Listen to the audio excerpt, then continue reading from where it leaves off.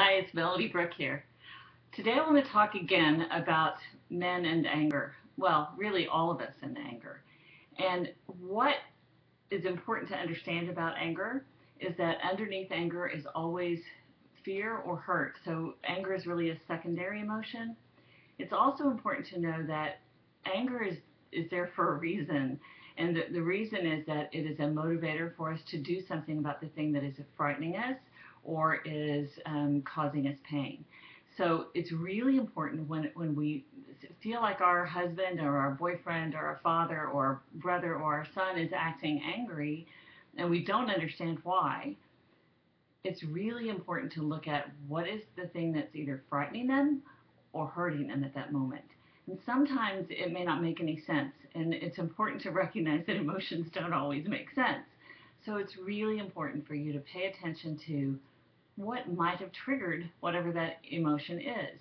So instead of re responding reactively from that old brain self-protective thing, which is so tempting to do when somebody's coming at you with their anger and you, you feel like you're being blamed for something, or perhaps they have an ugly tone in their voice.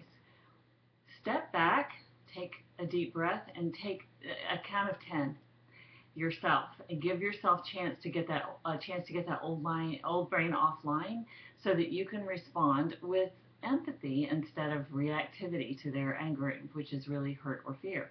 So own what you can. Notice wow I just noticed that um, that you, that you're you're upset so I'm wondering um, I'm not sure what it was that happened but if there's something that I did, I'd like to know more about it. And it's really hard to do that, isn't it? Because that old brain is so demanding. But it's also really important because if we don't, we miss the opportunity to connect.